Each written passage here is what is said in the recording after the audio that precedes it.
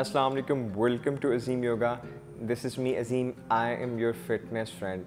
I believe जो पहले video upload की गई थी क्रेसन पोज वॉरियर वन और टू आपने उसे परफॉर्म किया होगा कुछ फीडबैक हमारे पास आए हैं they were very happy and they practice the yoga उन्होंने कहा कि एक पोज को उनको बहुत डिटेल्ड में सीखने का मौका मिला कि अलाइनमेंट क्या होती है गेस क्या हो ब्रेथ क्या हो बिगनर किस तरह से परफॉर्म कर सकते हैं तो आज जो हम प्रैक्टिस करने वाले हैं, उसका नाम है एक्सटेंडेड ट्रायंगल पोज सेम इसको भी हम डिटेल्ड में सीखेंगे। इसका एक बेनिफिट मैं आपको बता देता हूँ, ये है कि आपके स्टमक जो है, उसके तमाम डिसऑर्डर जो हैं, उसको आपको ठीक कर देगा। सही है? You will absolutely be fine और इसके और भी बहुत सारे फ़ायदे हैं, वो मैं आपको at the end of the video बताऊँगा। इसको प्रैक्टिस करने के लिए आपको पहले जो है वो वॉरियर टू को सीखना ज़रूरी है। अगर आपने वो वीडियो नहीं देखी तो इससे पहले जो वॉरियर टू वाली वीडियो है, उसको देख के प्रैक्टिस करें, सीखें और फिर आपने इसको भी सीखना है। तो हम इसको प्रैक्टिस करेंगे। जो है हमारा डाउनलोड फेसिंग डॉग पे आ जाते हैं। इस तरह से थ्री ब्रेथ लेते हैं। इसी पोजीशन में हम लोग।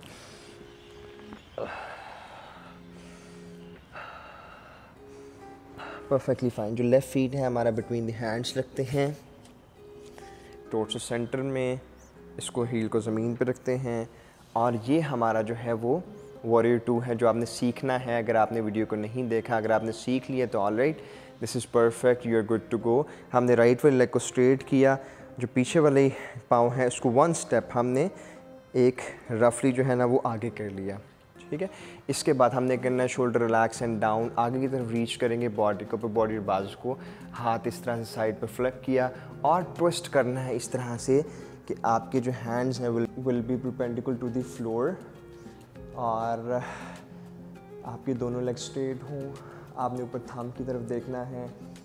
थोड़ी सी हिप को आगे तरफ़ फॉरवर्ड करें ताकि इक्वली आपका बैलेंस शिफ्ट हो जाए. हिप सेंटर में आ जाएगी. चेस्ट को ओपन करते हैं थ्री टू फाइव लैम वगैरह सांस लेते हैं इसी पोजिशन में।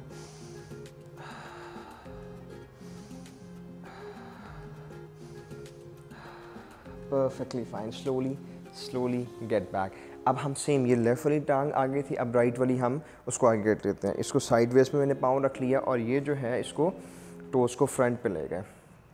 ठीक है डिस्टेंस सेम रहा।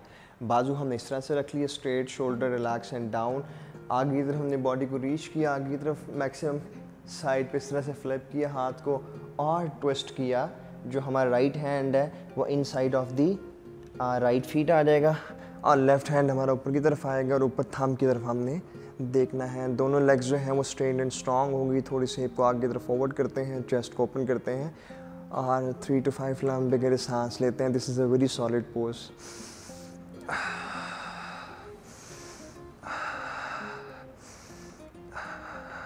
perfectly fine slowly slowly get back तो आप इस तरह से इसको इस पोजिशन में वापस आ सकते हैं।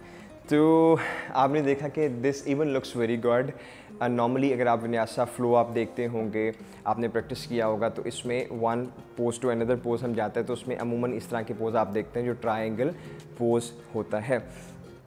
अच्छा अब ये है कि इसमें मैंने आपको इसकी करेक्ट अलाइनमेंट आपको बता दी है।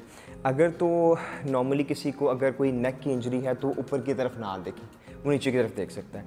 शोल्डर की इंजरी है तो जो लेफ़्ट लिफ्ट कर रहे हैं हम हाथ ऊपर वाला, वो हम ऊपर की तरफ़ लिफ्ट ना करें, वो हम जो है, वो हिप के करीब यहाँ पे रख सकते हैं। अगर थोड़ा सा कोई नीस का प्रॉब्लम है नीस को बेंड करना है लाइटली सा तो आप उसको बेंड करके इस तरह से प्रैक्टिस कर सकते हैं। ब्रीदिंग आपने बैली ब्रीदिंग रखनी है। गेज़ आपका जो आई फोकस होगा, वो आपका जो ऊपर वाला थम होगा, ऊपर वाला हाथ होगा, आपका वहाँ पे फोकस होगा। तो इस तरीके से आप इसको प्रैक्टिस कर सकते हैं। थ्री टू फाइव ब्रेथ या सेवन ब्रेथ तक आप इस पोजिशन को होल्ड कर सकते हैं। इसके बहुत सारे फ़ायदे हैं। लेग्स एंड आर्म को स्ट्रेंथ करता है। आपकी जो नॉर्मली बहुत सारे लोगों की शोल्डर की जो है मोबिलिटी बेहतर नहीं होती। That is because of your upper body जो थ्रेसिक स्पाइन होता है, उसकी वजह से। तो वो भी आपकी इम्प्रूव हो जाएगी। उसके अलावा आपकी हिप और जो ग्रॉइन है, बहुत सारे मुझे लोग कहते हैं कि ग्रॉइंस के लिए एक्सरसाइज बताएँ तो इसको जो है वो परफॉर्म कर सकते हैं।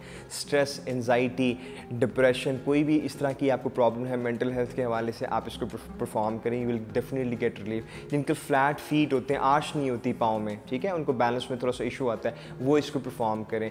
फीमेल को जो मैंस्ट्रल पीरियड में इशूज़ आते हैं, वो इसको परफॉर्म करें, जो पेन होती है।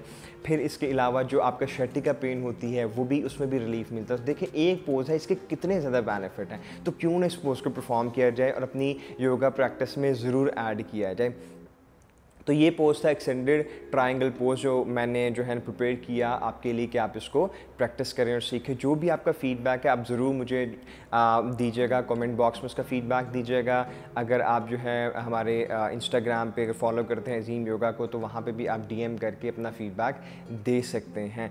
तो इन ताला जो नेक्स्ट वीडियो है मेंटल हेल्थ के हवाले से वो अपलोड होगी सैटरडे को, क्योंकि हम एक पोस्ट की या कोई सीक्वेंस की वीडियो ट्यूसडे को अपलोड किया करेंगे। और जो मेंटल हेल्थ के रिगार्डिंग है ब्रीदिंग मेडिटेशन के हवाले से, वो हम सैटरडे को अपलोड किया करेंगे। इसमें थोड़ा सा स्केड्यूल में डिफर भी आ सकता है, वो फिर हम आपको कम्युनिकेट कर देंगे। अपना बहुत सारा ख्याल रखिएगा, आपसे मुलाकात हूँ नेक्स्ट एपिसोड में। अल्लाह हाफिज़।